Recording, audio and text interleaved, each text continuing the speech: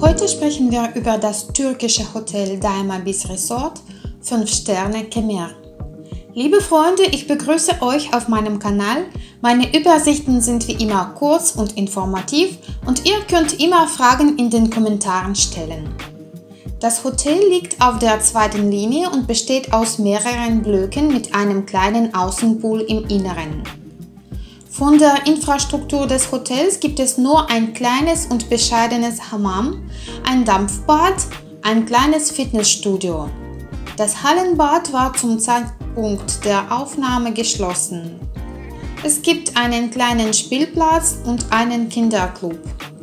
Aber das Essen ist Standard für ein türkisches 5-Sterne-Hotel und bei unserer Ankunft war es nicht schlecht, aber im Internet gibt es viele Beschwerden über die geringe Auswahl von Fleischgerichten und lange Schlangen dafür.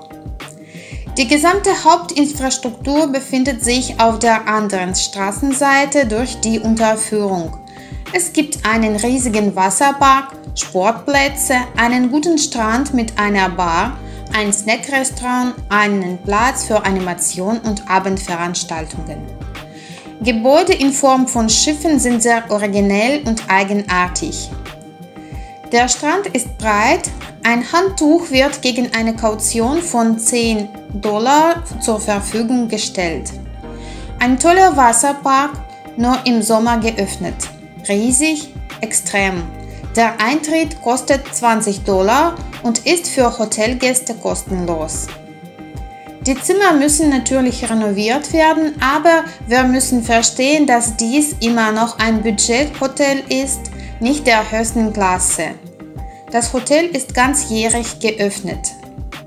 Freunde, danke für die Likes. Vergesst nicht, meinen Kanal zu abonnieren. Es gibt noch viele interessante und nützliche Übersichten.